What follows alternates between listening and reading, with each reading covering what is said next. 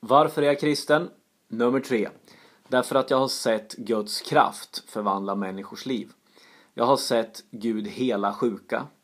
Jag har varit med och be för människor som har blivit friska i ryggar, eh, i nacken, för att, efter att ha haft whiplashskador eller problem med nacken i flera, flera år. Min mamma är en sån som hade problem i över 20 års tid med nacken efter en skada och en person bad för henne i Jesu namn och hon blev fullständigt bra och har varit det nu i fem års tid utan några återkommande problem i sin nacke.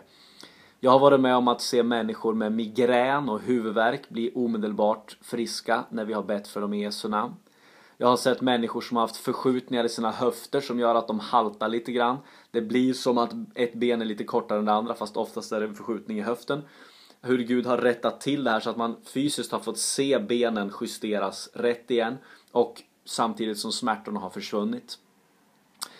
Jag var med en gång, kan jag berätta lite speciellt, om en tjej som inte var troende.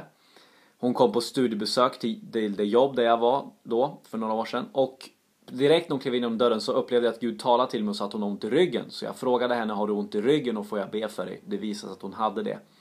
Så jag fick be för henne och hon hade då intyg från läkaren att hennes ben var kortare än det andra. Det var alltså inte en förskjutning i höften utan benet var kortare med ungefär 2,5 cm.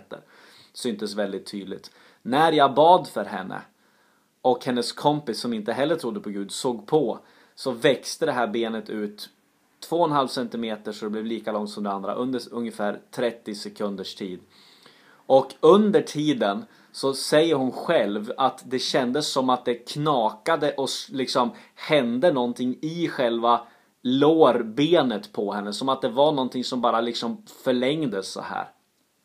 Och det är hennes ord, hon som inte var en kristen. Jag har varit med om att människor som har haft andra typer av problem har blivit friska när vi har bett för dem. Och lite bara för att det är roligt att nämna det så kan jag också säga att jag har varit med att be för bilar som inte har startat så att de startar. Allt det här kan du skeptiken säga så här. Ja men det där är ju bara sammanträffanden, det är tillfälligheter, det kan hända sådana saker. Ja, jag vet det, jag är medveten om det.